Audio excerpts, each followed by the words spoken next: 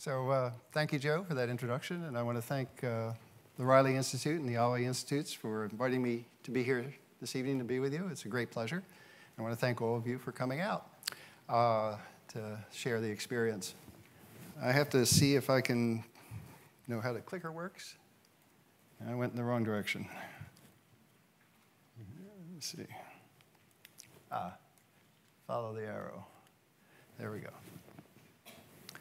So, um, so I noticed the theme for this uh, the series, uh, this year series, is working together to fulfill the promise of education. Um, that's a wonderful sentiment. As we get into the story that will unfold uh, in The Long Shadow, you'll see that, that that promise is largely unfulfilled for many of Baltimore's children. And uh, in order to turn that around for them and for all of us collectively who care about them, it will require a concerted effort. It will require that we work together. So I'm going to be talking about a book project tonight that, uh, as Joe mentioned, is substantially uh, my life's work. Uh, this capstone publication, The Long Shadow, is the culminating statement of that project. It began way back in 1982, 82, uh, when my colleagues and I at Hopkins launched a study that was intended to cast a careful look on experiences of Baltimore City public school children as they began their educational careers in first grade. Mike, we are sociologists by trade, and we're survey researchers, and so we started this project by drawing a, a, representative random sample of children, just under 800 children, who were starting first grade that year in 20 Baltimore City public schools scattered throughout the city. Um, and we stayed with it for quite a few years. It was a quarter century project. It started in 1982, it ended in 2006 with our last contact with the uh, study participants uh, we successfully, at that point, uh, relocated and re-interviewed 80% of the original youngsters. Uh, we call that our mature adult survey. They're age 28, 29 at the time, six years old no longer. Uh, we watched them grow up. Uh, we interviewed, them individually on many occasions over the years. We talked with their parents on many occasions. We talked with their teachers. Uh, we had splendid cooperation from the Baltimore City public school system, and we had access to school system records, which gave us uh, their achievement test scores, their report card marks, uh, deportment ratings. So over a 25 year period, we compiled a very substantial kind of database. We really did uh, track their lives as they unfolded uh, from early childhood into mature adulthood. And um, while we've had the good fortune of uh, pursuing any number of, of themes using this database as the vehicle in our publications, uh, this book, The Long Shadow, really is the capstone of it. Very fond of the cover image. Um, the long shadow is intended to convey the long shadow of family background. That is, the conditions of family life early on, and the importance of family conditions for moving children across very different life trajectories depending upon where they start life, start out in life. I personally, and my colleagues as well, have a somewhat expansive view of what we mean by family conditions and, the, and family background. Um, when you talk about family, the inclination, I think, is to think in terms of considerations at the interior of family life, whether it's an intact two parent household, uh, whether the parents have steady employment uh, with a comfortable enough income to support a family uh, whether the parents are engaged in their children's learning and supportive of their children's learning. Uh, those kinds of considerations indeed are important, and we do monitor them in this work. Um, but the influence of family extends beyond the household. Uh, when children leave for school in the morning, uh, they go through the neighborhood of the, where they live, the surrounding neighborhood context, and when they arrive at school, they have access to the resources that are available to them. Parents decide, in deciding where they're going to live, parents decide the neighborhood context the children are exposed to, and also the quality and character of the schools that they attend. So um, for us and in this project, uh, family is, uh, is a broad construction. Uh, it applies to the immediate circumstances of family life as well as the neighborhood conditions and school conditions that children experience along the way. I'm actually going to start at the end Uh, these two quotes that I'll be sharing with you are, uh, they, they start out the last chapter of the book, chapter 9. Uh, when I've had the, uh, the pleasure and the opportunity to share this work with any number of audiences since its publication in mid-year 2014, I didn't always start my presentations this way. But um, I have to think that almost that all of you in the room have some sense of what transpired in Baltimore a little over a year ago with the Freddie Gray incident, who died tragically at the hands of the Baltimore police. I don't mean to pass judgment on that. These situations that are not unusual to Baltimore, they've been happening throughout the country. They're complicated and every situation is different.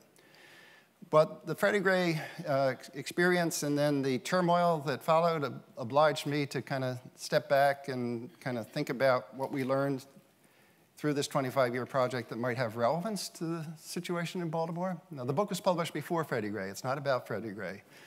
But I think it contains important lessons uh, to be learned that have uh, relevance and resonance to what's happening in Baltimore today. And so some of that is captured in these two quotes. We asked our study participants uh, to reflect on their lives and um, their ideas about what it means to be successful, among other things. And these are fairly representative characteristic replies that we, that we heard. So Ken told us, I think I'm successful now because I'm happy, you know. I don't have a lot of money, you know. You know, I live paycheck to paycheck, but I'm happy because I come home every day the person I want to be with, you know. I pick up the phone, my parents are still there if I need to talk to them or if I want to talk to them. I'm happy. I'm comfortable. That's Ken. Dylan told us, I think my parents are successful. I mean, they're not rich or anything, but they were successful as far as like raising all those children, you know. And you know, even though we did like some things, you know, nobody did anything real major. And we all, we all still alive, you know. All of us are still alive. That's Dylan. These are, to me, interesting, indeed poignant reflections on the meaning of success. There's no fancy house in the suburbs here, or a fancy car, or a high paying job. Now, these young people want those things as well, but these are very substantial values. They're real, they're meaningful, and in the circumstances of their lives, they're not to be taken for granted. Census data or vital statistics data for Baltimore City tell us that in recent years, there's a 20 year difference in life expectancy. 20 year difference in life expectancy comparing across Baltimore's poorest neighborhoods and Baltimore's wealthiest neighborhoods. In round numbers, it's 86 years, 66 years. That's shocking. It certainly shocked me when I first encountered it, and I hope it will feel you'll react the same way. 26 years. Probably won't surprise that the poorest neighborhoods in Baltimore are African American, and the wealthiest neighborhoods in Baltimore are substantially white. 20 year difference in life expectancy. Little closer to home in the sense of this project, I mentioned at the outset that we had a 20, 80% um, success rate in uh, relocating and re-interviewing these children, all grown up as young adults. Now, 80% is none too shabby. We feel like we did a really good job, and we're proud of that. So we started with 790. We, at age 20, 28, we had 667 completed interviews. That means we were unable to interview 123 of these youngsters. 123. We know of 26 known deceased in the group.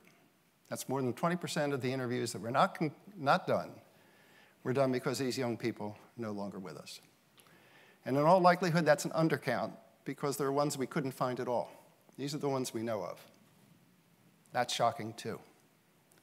And I think it, it helps underscore what we heard from these young people when we talked with them to be happy, to be comfortable, to be alive. It's not to be taken for granted. The book, The Long Shadow, really is not about those themes. It's about opportunities to achieve a comfortable standard of living in adulthood, young adulthood, in relationship to where you started out in life. We look at educational level completed, we, we, we look at job experiences, we look at earnings. But we started out the chapter this way because we wanted to remind ourselves and we wanted to remind our readership that the conventional standards of success, while they're important, educational level, occupation, and so forth. Um, they're not all encompassing. And so we wanted to be respectful of what the voices we heard when we engaged with these young people to appreciate and value the standards of success that are meaningful to them. And in point of fact, these are meaningful to all of us in the room, but most of us are fortunate enough that, that we don't have to dwell on them, right? We can kind of take them for granted. Not all of us, but most of us. These young people can't take them for granted. And we wanted to recognize that, we wanted to respect it. And in the wake of Freddie Gray, I wanted to share that with you all. Okay. Here's another quote. This is Chip. We talked to Chip. And here's what he told us about how a really traumatic experience that happened to him when he was younger affected him. Told us about his older brother being gunned down when thugs invaded his house over a drug deal that went bad. Can you imagine being in the middle of that as a little kid? Here's what Chip told us. It was a month or two months that I would try to go to school, but I would leave because if I felt like I was, like I had to cry, I would leave. I wouldn't, excuse me, I wouldn't cry in front of nobody. And that's a hurting feeling when you lose somebody that close. Indeed. In the book, we introduce this little clip of our conversation with, with Chip. Yeah, you'll have to forgive me. I know these kids. Uh, I, I, was with them from when they were six years old, so this is not easy, this part of it. Um, we introduced this in a section of the book when we discussed how we, how we monitored stressful social change in the family life. And what we did there was a standard survey format approach. We talked to the parents, when, uh, and, and then when their children were a little older, we talked to the youngsters themselves. And we asked a dozen questions about whether any of these things had happened to them in, over the past year. And it was like uh, lose a family member to, uh, who passed away, or have a child who suffered serious illness, or lose a job, and you know, that kind of thing. It was a list of 12. And so, um, and then our, our measure of, of, of family stress was we would tally up how many of those were affirmatively indicated. And so it was 1 to 12, and if you had an 8, you had experienced high stress that year. If you had a 2, you were lucky enough that you, know, you got off easy. So that is a very, very conventional way of monitoring stress in family life, and we used it in our um, in the survey analysis part of the project. But we, again, we wanted to recognize that this is that's a surface way of approximating what stress means. And so this is stress, up close and personal. And sadly, many, many of our young people growing up in the poorer neighborhoods of Baltimore are exposed to violence in their homes, in their neighborhoods, on the way to school. Yeah, so this is real stress. Now, to the book proper. Uh, it is a book about opportunities for upward mobility. That's the sociology way of saying it intergenerational mobility origins to destinations in life course perspective. When I was really, I'm retired now, I've been retired for a year and a half, and I'm enjoying it. Uh, but when I was wearing my faculty member hat at Johns Hopkins University, that's the way I used to talk. Uh, thankfully, I started to outgrow that, and I can kind of talk like a normal person now. So that is the agenda of the book, and it's hardly original with us. So I'm a sociologist, and when you hear sociology, a lot of people say, who cares what he thinks? You know, he's just a sociologist. Joseph Stiglitz is a Nobel laureate economist. And uh, just a little bit before uh, our book appeared, uh, he wrote an opinionator piece in the New York Times, and it was really promoting a book of his that had just recently come out. And Stiglitz, uh, the perspective of his work was to compare the opportunities for upward mobility for poor children in the United States against the opportunities that are available to uh, children in other industrialized countries throughout the world. So it's a comparative perspective, the US versus these other countries. And here's what Stiglitz concludes Nobel, Nobel laureate economist. Remember that? Person you take seriously. The life prospects of an American are more dependent on the income and education of his parents than in almost any other advanced industrialized economy. The life prospects of an American child are more dependent on the income and education of his parents than in almost any other industrial, advanced industrial economy.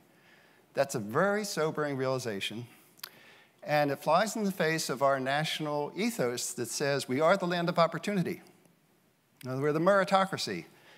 If your children, if our children do what we tell them to do, work hard, play by the rules, listen to your parents, listen to your teachers, all sorts of good things can happen. And aspirationally, I share that. I suspect all of you in the room share that perspective. But the reality on the ground is that we fall short for too many of our young people. So Stiglitz, in his research, is looking at the United States versus other places, other parts of the world. This is the agenda of our research, but we're looking within, within Baltimore, but within uh, the United States, and Baltimore as a, as a for instance. Uh, and our focus is to compare opportunities and how they're structured and how they're patterned across social lines. We compare the experiences of low-income children with the experiences of middle-class middle class children, all of whom began first grade in Baltimore City Public Schools. So when we talk about low income versus middle class, we're not talking about the wealthiest of the wealthy. In order to do that, we'd have to be, have extended our research to the surrounding Baltimore suburbs or to the private schools in, in the city. But these are all public school students at the outset. Nevertheless, there were sufficient, we were able to make those comparisons, but uh, we're not capturing the extremes. Well, we're capturing the extremes at one end. We're capturing the extremes of poverty, but not the extreme, extremes of, of, of wealth and opportunity. We also compare the experiences of African American and white children and young adults, um, which is an interesting opportunity and one uh, rarely afforded. Uh, we, as I mentioned at the outset, we started by drawing a representative random sample of children starting first grade in 20 Baltimore City public schools. That means that our panel, or sample of 700 youngsters, by design allows us to make statements about conditions in Baltimore, broadly speaking. You know, it's a window on conditions citywide. And by virtue of the way we selected our sample, we have, well, I'll say about half of our children using the survey data we have and also information from school records, about half the children we classify as being uh, starting out in life in low income families. Okay. The other half are not low income. About a fourth of them are kind of in the middle range, and then the other fourth are um, better off. Solidly middle class is what that means. Now, of the half that are low income, 40% are white. 40% are white. Most folks, when they hear about urban disadvantaged, right, immediately think communities of color. African Americans, and in some parts of the country, increasingly now in Baltimore, uh, Latino or Hispanic, right, communities of color. In point of fact, poor whites are a presence in places like Baltimore and in cities like Baltimore throughout the country, but they're off the radar when it comes to research on the urban poor. You just don't see attention directed the experiences of poor whites. We direct attention to the experiences of poor whites because we have a good, a, a good grip on who they are and what they've experienced along the way by virtue of the way this project was launched. So we're interested in comparisons across uh, lines of family income, in, in terms of uh, across lines of race, ethnicity, and by gender, boys and girls, young men and young women, grown up. We're interested in, in op how opportunities are patterned along those lines, but also at what's referred to as the intersection of the three. It's not just whether you're poor or whether you're white or African American or whether you're a young woman. Conditions also vary for poor African American men distinctively. So we try to put those pieces together. Okay. This is the perspective that we bring to bear. Um, it's not original with us, and the picture doesn't appear in the book, but we certainly acknowledge it in the book. It's, it's a Richard Jessor article that appeared in a, in a uh, publication called The American Psychologist way back in 1993, and it is, it, it is his overlapping spheres of influence perspective. So it's a perspective on uh, children's uh, personal development, academic development, and social development as it plays through time, starting in childhood. I, have a, I don't have a pointer starting in child, pre-adolescence through adolescence and into young adulthood. So it's exactly our time frame. This, this image comes from his publication. We didn't make this up. I wish we could take credit for it because I think it's just so tremendously rich in import. What he says is that the child at the center of it all is like a socialization sponge. He or she kind of soaks up the experiences in, her, in his or her immediate realm of experience. And what children experience up close and personal day in and day out are family life, their neighborhoods, and their schools. Right? So those are the overlapping spheres of influence. And, they, and uh, they, their developmental import is ongoing in young people's lives, just all along the way. Right? Jessor also points out that family, neighborhood, and uh, school are embedded in a larger socio-structural context.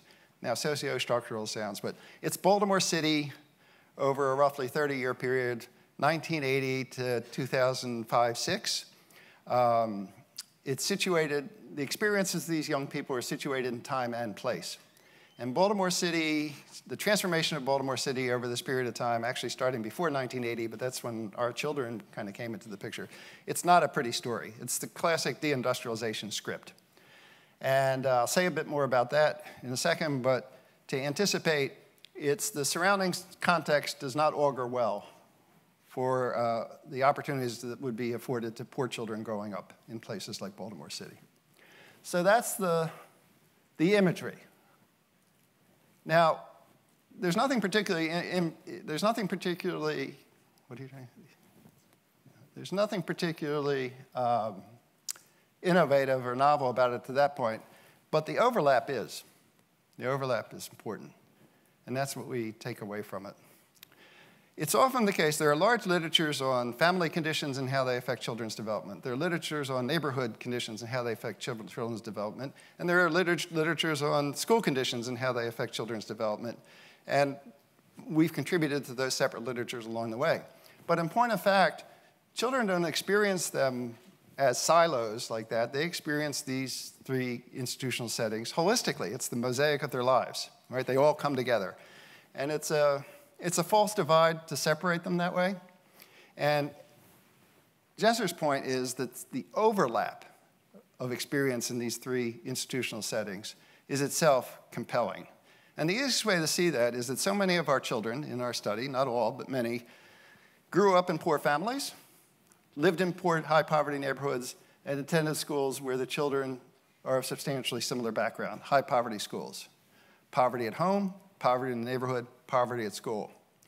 We know that each of those separately is a risk factor. Risk factor for what? For struggling at school and for having a challenging life uh, over the long haul. Each of them separately is a risk factor. When you put them together, the odds multiply. Many of Baltimore's children, and it's not peculiar to Baltimore, are triply disadvantaged.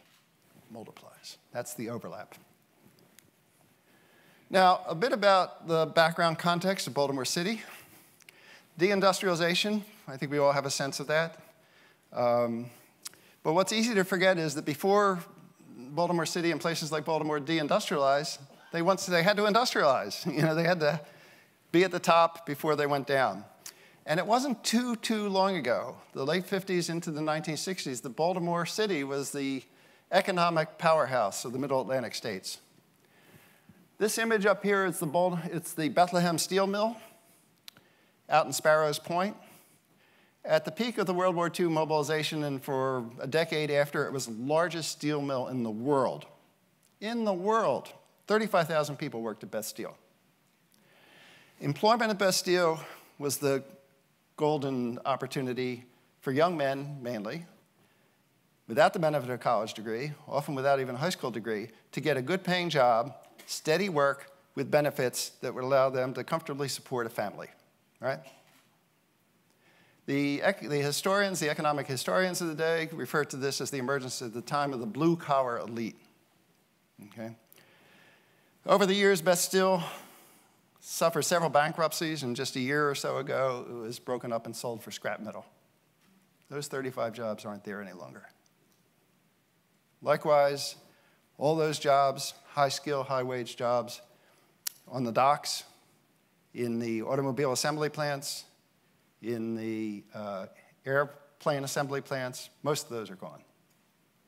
And also during this time, Baltimore City was hemorrhaging much of its population and much of its wealth. Here's a, uh, an excerpt from a, uh, the Annie E. Casey Foundation, which is a large philanthropic foundation that's focused, where its focus is helping poor communities uh, in places like Baltimore. And they're headquartered nationally in Baltimore. They issued a report in 2010 which kind of did the, gave an overview of this transformation of Baltimore City. A perfect storm, they characterized it, of crippling trends and tragic events, the dramatic loss of manufacturing jobs and tax base, the ruinous riots of 1967 and 1968, the exodus of first white, then African American middle class families, the sequential epidemics of heroin, crack cocaine, and HIV, the intensified crime and gang, well, you get it, it's not a pretty picture, right? The end result has been an ever deepening cycle of disinvestment and decline. You know, from the Jessor's perspective, this is the socio-structural backdrop to our children's coming of age. Right? Not everywhere in Baltimore, not all Baltimore's children, but the high poverty neighborhoods of Baltimore, for sure. That's what the Casey Foundation, how the Casey Foundation characterized this period of time when our children were growing up and coming of age. Here's what we heard from some of our study participants. Again, we asked them to reflect back on what life was like in the communities where they're living growing up. I'll just share the one, I'll just read the one from Sona. They're, sadly, they're repetitive. Sona says where I lived it was more or less like, I guess you'd say, family oriented because everybody knew everybody. When you hear everybody talking about how someone could spank you or whether they were family or not, well, that's what it was like back on the block. And maybe one or two parents was watching us and stuff. Then after a while, the neighborhood started going down. Basically, the kids were getting badder and badder, and the people you thought was really nice were changing. You know what I mean? Well, I think we have a sense of what Sona means. Yeah. One of the things I've learned from the experience of working on this project over, it's actually more than 25 years if you count the planning, planning years and then the taking stock years. One of the things I've learned is that there's a lot of street wisdom out there. Know, we hear out of the mouths of, mouths of babes. These young people are very much aware of what's going on around them. They might not speak in the same language as academic sociologists, but they understand. And they can convey it in their own terms. So again, if I put on my academic hat, I would, what, I, what Sona is telling me, what she's saying in more graphic terms than I could, is that what she experienced was a decline of social capital at the neighborhood level, a weakening of social integration or social cohesion. Poor neighborhoods can be strong neighborhoods. They can be a foundation for moving up. But poor neighborhoods that are highly distressed in the way that Sona is describing are not a good foundation for moving up. And too many of Baltimore's children experience life early, in the early years in this kind of neighborhood. So that's the sense of the backdrop. In the foreground are the stories that the Long Shadow um, tells. We actually, it's a complicated project. There are lots of ways that you could have sliced and diced it, but we wanted to try to be faithful to the the lived experience of the young people that, who's, who are helping us understand what it's like to grow up in these conditions. And we've organized the book around what we call two success narratives or themes. One has to do with opportunities for upward mobility through the educational system, like what this conference theme is about, education. Yeah. We thought the book was going to be about that because as Joe mentioned at the outset, you know, by trade, my colleagues and I are sociologists of education. We study educational issues, we try to understand how schools work, and we thought this was the book, what the book was going to be about. As a success narrative, we've got, in case I run out of time, uh, there's very straightforward takeaway points, and they're captured in some of these numbers. There are numbers in the book. I hope that's not too off-putting, but that's the way we do our work. There are numbers in the book. So at the end of it all, when we asked these young people about their educational experience and how far they'd gone through school, and what schools they intended and that sort of thing, and we compiled all those data and we coded it up. Then we looked across social lines. We found that 45% of the middle, children from middle class parent, middle class families when they started out in life, and again, these aren't the wealthiest of the wealthy, solid middle class. At age 28, 45% of those children had a bachelor's degree or beyond. There are actually a half dozen PhDs and maybe 15 or 16 master's degrees. 45% of them had a BA degree or beyond. Children in middle class families. Just 4%, don't even need one hand, 4% of the children who started out life in low income families had a bachelor's degree at age 28. That's a tenfold difference in degree completion. Tenfold difference in degree completion. The vast majority of these young people weren't going to be getting on in their lives with the benefit of a higher education credential. Now, Baltimore and the county surrounding it have a very extensive two-year community college system.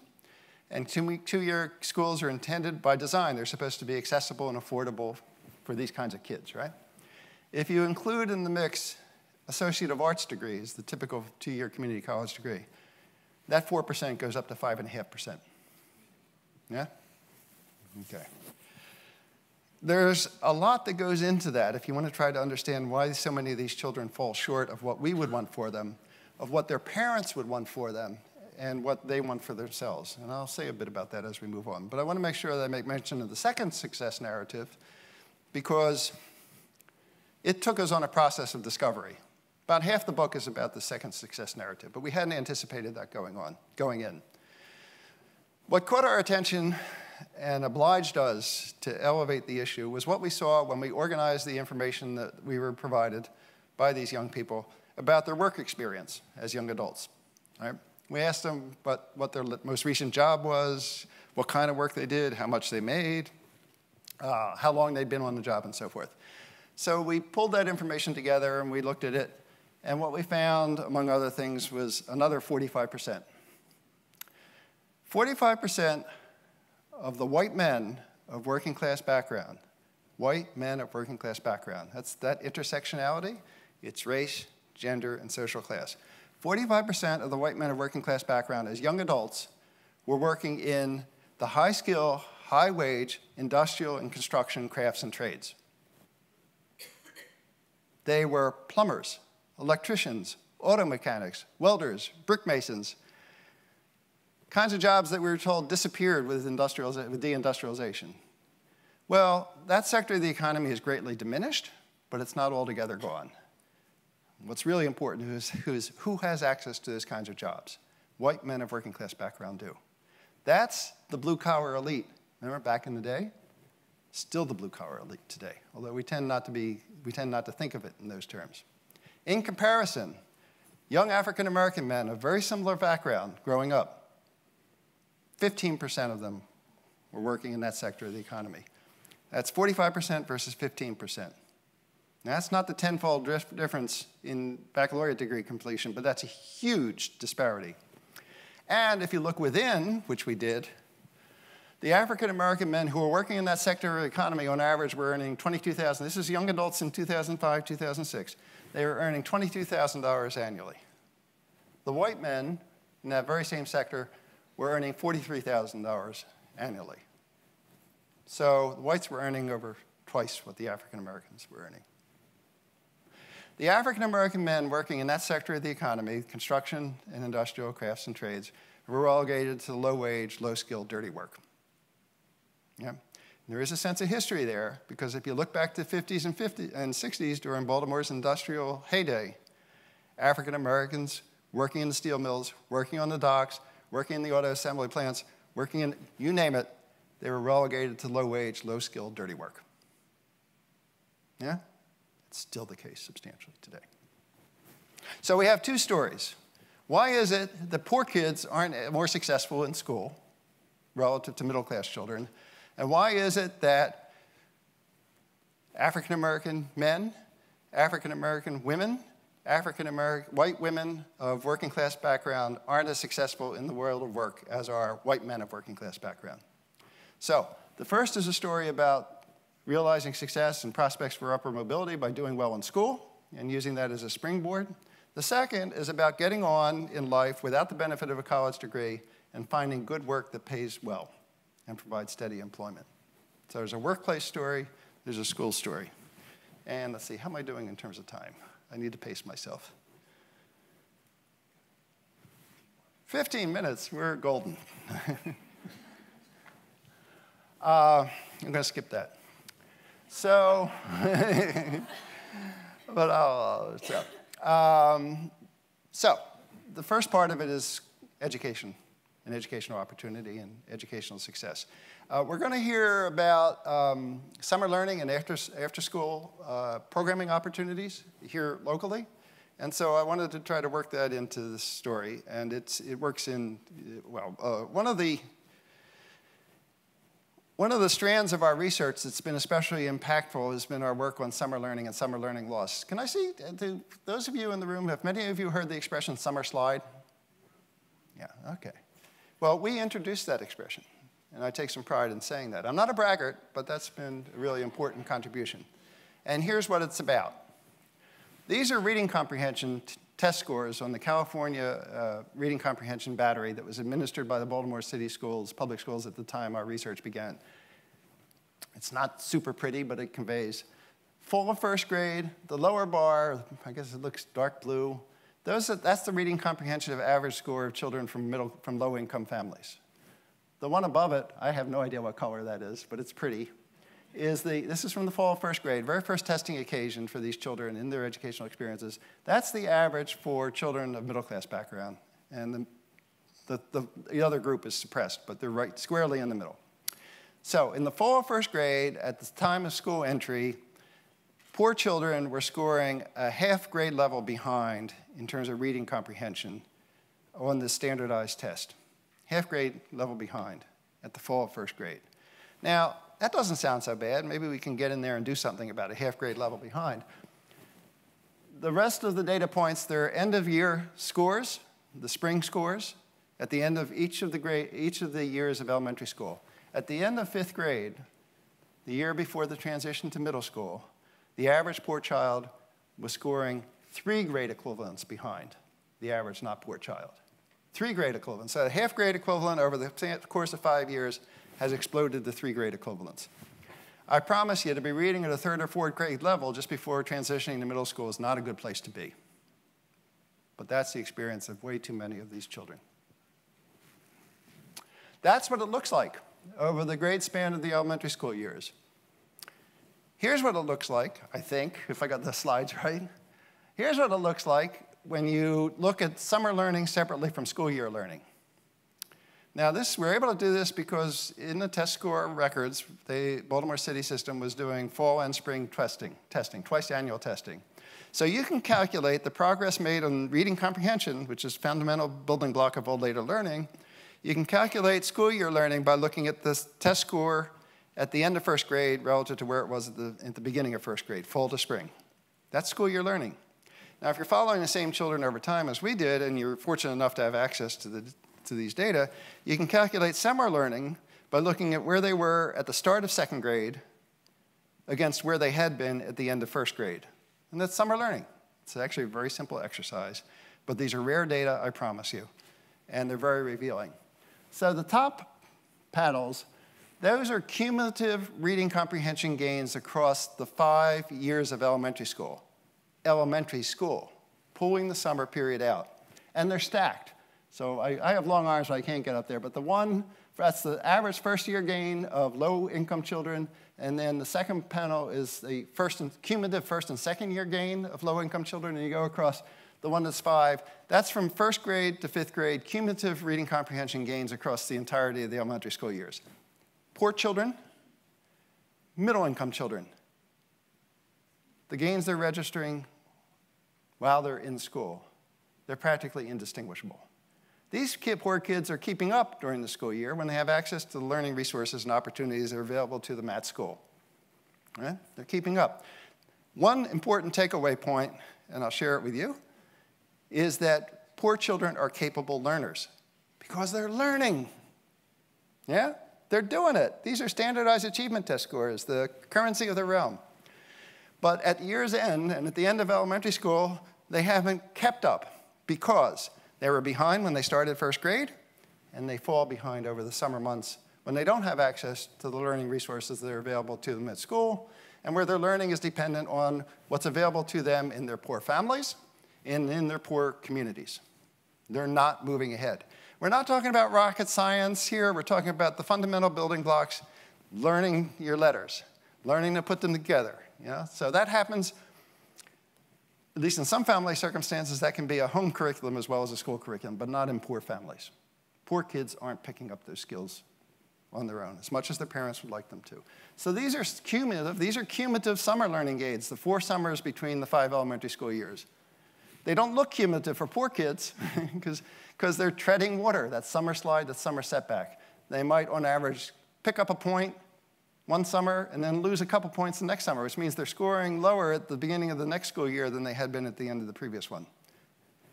Middle class children, and again, we're not talking about the wealthiest, the wealthy, reading comprehension. Their scores are improving, their capabilities are improving, their skills are improving. It's more fundamental than their scores. That's just a number on a piece of paper. What they can do with their, with their, with their academic abilities, what their reading comprehension, they're continuing to develop their skills every summer, every summer, steadily. And that's where these poor kids are falling behind. The summer slide, the summer setback, is a family opportunity shortfall. It's the long shadow of family background, a manifestation of that. There are many manifestations of it. Here's what it looks like if you put those two pieces together, and this is beyond our capability, but Time Magazine has people that are well paid to do this kind of thing. So this research and, and ours got picked up by Time Magazine in an article that appeared a few years ago and, they entitled it The Case Against Summer. Now, I have nothing small. I don't want to make a case against summer. Summers are great. But would, uh, what I would wish is that poor kids had the same kinds of enrichment opportunities and learning opportunities over the summer that not poor kids have. So let's, let's put our summers to good use. This is a characteristic jigsaw pattern that we saw. Uh, and now we have the group of intermediate level family income included, and you can see that they're squarely in between. Um, so the poor kids at the bottom, the not poor kids at the top, poor kids, they make good strides during, this, during the school year, then they fall off during the summer. Good strides during the school year, fall off during summer. It just repeats itself, right? Summer learning loss. And when you put it all together, this is what you see in terms of so, to, total summer learning gains. Now, you, the metric isn't going to mean anything to you. They're, these are scale scores and the way the California Achievement Test Battery was calibrated. It's what happens when you go from a half grade level behind to three grade levels behind over the elementary school years. Almost the entirety in that, eh, of that increase in the achievement gap across social lines, we all talk about the achievement gap, that's what this is. Almost the entirety of the increase in the achievement gap across social lines traces to differential summer learning opportunities during the elementary school years. So, uh, yep, let me get back. So, but it's not just what you see in California Achievement Test scores, that's just the tip of a very deep iceberg. Poor kids who suffer summer setback and summer slide and suffer a deficit of good learning opportunities in their homes and in their neighborhoods. As first graders, they're more likely to repeat a grade. We have a book on grade retention that was published. They're more likely to be assigned to receive special education services. When they get to middle grades, they're more likely to be assigned to low level remedial classes as opposed to advanced academic classes. They're much more likely to drop out of high school and they're much less likely to go on to college. So something that starts out as early as first grade stays with them all along the way. It haunts them, it follows them all their lives. But the challenges that these young people face and their families face aren't just of an academic character, okay? They also there also are externalities that weigh on them. And so I mentioned that only 4% of our poor children had a bachelor's degree at age 28, 5.5% if you include AA degrees. Many of these young people had fire in the belly. They understood the importance of going to college and of lifelong learning. When we talked to them as young adults, 80%, 80% of the entire group said that they intended to get additional education as young adults, including 85% of those who didn't even have a high school, have high school certification at that age. Think of it, 85% of high school permanent, we call them permanent high school dropouts. They don't even have GEDs. 85% of them say they're going to continue in school in some capacity. That's really quite extraordinary. About a third, a third of our poor children started down the post-secondary path, but so few of them were able to see it through to completion for reasons much like the story, Kim's story about the practical hardships that they have to overcome in staying the course in college, even in accessible, affordable community colleges. So Kim, now it's five minutes. okay, so Kim had a baby when she was in school. It's not uncommon for young people like ours, African American young women and white young women, poor white young women in Baltimore, babies at a young age. Uh, she graduated on time, though, with a high class rank, which set her apart from many of her peers, and she continued on into a community college. She tried three times to, see, to, to complete community college, but every, every time she couldn't stay the course. It was her daughter needed her attention, finances. is not just tuition, it's covering books, it's transportation, there's a whole package. So Kim, she had fire in the belly. She persevered, she worked hard at it. She just could not see it through. When we talked to her at age 28, what she said was, just sometimes I get frustrated, frustrated because I like when I want something, I want it now, you know, I want, and there's a lot of things that stand in my way. Like I mean, I don't mean to say she stands in my way, referring to her daughter, but she has to come first, you know. I'm sure if I didn't have her, I probably would be in law school right now. Well, that's a counterfactual. Who knows whether she'd be in law school? But I should say, what I have, my sense of what of Kim's character and determination she'd be, some, she'd be in a better place, I have no doubt, even if she didn't quite make it to law school. So there are all these practical obstacles that also have to be, require our attention. Okay, so now I only have a, like a minute and a half probably, or two minutes. What do I got? So I'm going to say a bit about, about this second success narratives, the white working class men who seem to be doing so much better than everybody else of working class background. I'm going to focus on men, African American and white men, but because there's not enough time to get into the gender part of it, but there's an interesting gender. Yeah, women, young women of working class background aren't, aren't doing much better either in their own uh, labor um, than our African American men. And we can, if we have time, I can say a bit more about that. But the figures that I gave you earlier about 45% versus 15%, and the African Americans earning half of what the whites were earning, that was at age 28. But there's actually a story about vocational development that's e equally as compelling as is the story about academic development. We all know about academic, academic development starts you know, as early as you can monitor it and, and the issues play out over time. It's also the case that workplace opportunities have a long trail to them. So when we talk to these young people when they were in high school about their summer jobs and their part-time jobs, 21% of white men of working class backgrounds said that they were employed in the industrial and, uh, and, and construction, skilled crafts and trades, over a fifth. Not a single young African American man had that kind of employment experience. Now, these young guys were not electricians and auto mechanics and plumbers and welders. They weren't that, but they were helping out. They were helping out an older brother. They were helping out a neighbor across the street. They were helping out somebody that the family knew from church.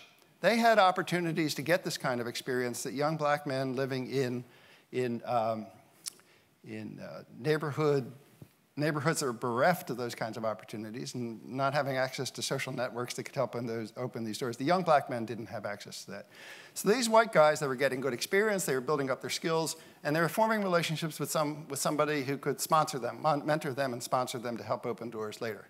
White guys had that, African American men didn't. It's a story about social networks and family ties. Then at age 22, which is our young adult survey, it was 30% versus 8% working in that area, and then at age 28, 45. So it's the same kind of exploding achievement gap, but it's actually an experience gap in the world of work for young, young persons growing up in Baltimore without, and who are trying to find, find a path in life without the benefit of a college degree. It's developmental, it's, and it it's, uh, plays a large role in determining quality of life in young adulthood. How does this happen, you might ask? That's a rhetorical question. Well, here's one of the ways it happens. At age 22, we asked everybody how they found the jobs that they had, their, their, their current or most recent employment. And we asked them, um, we classified what they had to say in terms of uh, they had got help from family, they got help from friends, and they got help, they had to do it on their own. Now, these aren't mutually exclusive because you could have gotten help all, every which way. But these are white men of working class background, African American men of working class background, the whites were much more likely to say they got help through family. The whites were much more likely to say they got help from friends. The African American, young African American men were much more likely to say they did it on their own. And to be on your own is not a good place to be if you're young and if you're black and if you're living in a high poverty neighborhood in Baltimore City. And it's not a good place to be, and that's not a very good profile if the opening doors is dependent, is dependent on who you know and on, dependent on the goodwill of prospective employers. Now, this isn't in our survey, but we know from the lit broader literature that employers in the non college labor market are much more likely to ask about a criminal justice record of African American applicants. They're much more likely to tell you in surveys that they are distrustful of young African American men in terms of their being honest, in terms of their being reliable, in terms of their being good workers. They harbor these misgivings. And so they're reluctant to take on these kinds of guys. And when prospective employers are reluctant to take on these kinds of guys, what happens? Those doors are open to young white men of working class background that have sponsorship, that have experience, and that have started to build up their skill set. So it is a, it's a social network opportunity. Um, let me say one other thing. Uh, again, it, it goes back to the what I think of as the distorted image of what it means, what it's like to be poor and black in places like Baltimore. The young white men of working class background that we just saw have vastly superior employment opportunities. Their arrest and conviction rates are comparable to those of the African American men. These guys are not saints. And in terms of self reported, what we call problem behaviors, they have a much higher rate of self reported marijuana use, of heavy drug use, and of binge drinking than do the African American men. So these guys aren't saints, but those sorts of missteps along the way don't throw them off track forever. Yeah? Because they have folks that can help them. And they have access to employment opportunities where they're willing to give, the employers are willing to give them a second or a third chance. Young black men who do these things it can haunt them forever. They don't get beyond it because it throws up impediments, impenetrable barriers that they can't break through, barriers to opportunity. Well, we have, a, we have an account. This is Aaron, this is Chip. I don't know if you can read it, but I'm running out of time. It says, Stop, please. Let me just, so. Chip had a father who could get him a summer job while he was in high school, and that became a career opportunity for him. Aaron had a lot of barriers, and it's hard to single out one and only one that might have made the difference, but he didn't have a father who could, get, who could open a door for him, and clearly that's in the mix. So I want to take, in my time remaining, I'm Sylvester Stuff, I want to come full circle to the Freddie Gray incident, because that's how I started, and I want to wind, wind up that way, if you bear with me for another minute or two. Um, these two success narratives, they're not just words on paper, they're real in people's lives. So, if you see the experiences of young people like those we studied, plan A is to get through school and use that as a vehicle for moving on. Plan B, if you can't get through school but you still need to get out and have good, good, comfortable life, plan B is to get a decent job, steady work that pays well without the benefit of a college degree. Okay? Poor children in Baltimore, very few of them are following Plan A. Poor African American children in Baltimore, very few of them are following Plan B. What's our Plan C for people like this? We don't have a Plan C. We don't have a Plan C. So these young people look around and they see what we see, or maybe they see it with greater clarity because they're in the middle of it. Then in Baltimore and in places like Baltimore, well, you see the media and it's unrelenting. From one week to the next, there's an account of some young person of color who's dying at the hands of the police. Then it happens in Baltimore. Happens in a place where there's a long history of tension between police and community, at least the minority community. That's a triggering point. That's a flashpoint. There's a lot of frustration, there's a lot of pent up anger that's looking for an outlet. And I do believe what we saw in Baltimore during the Freddie Gray, in the wake of Freddie Gray, was an expression of that anger. These young people, we, you know, we would wish that they would channel it in a different way, but they're young. These are kids in the main. Not our kids. Our kids were in their mid 30s and late 30s by that time. But these were teenagers and very young adults in the early 20s. And they were on the streets, and this is what happened. And I would hazard this guess so that's all tamped down. There's been a lot of interest in Baltimore and trying to figure out how to do better and to kind of build up these communities and, and very sincere and, and good work going on. But nothing fundamental has changed. We haven't figured out how to do the plan A better for these young people. And we haven't figured out how to do the plan B better for these young people. If there's a plan P, plan C, it's on the streets, it's dealing drugs and it's getting in trouble, right? Um, I'm worried that if we can't collectively figure out how to do a better job of opening up meaningful opportunity for these young people, what happened in Baltimore is going to happen again. It might not be Baltimore, it might be Detroit.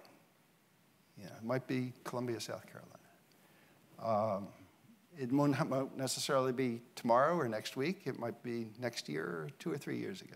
But it's going to happen again because the same frustrations are percolating, percolating. And you never know when, and you never know where, but you can almost count on it. There will be a precipitating incident that will blow the lid off that pot. And I hope that we can learn from experience and commit to doing better, doing better for these young people, and in the process, we're actually doing better for ourselves collectively as a community. So that's the, uh, I ran over by a few minutes. What are you going to do, shoot me? Thank you.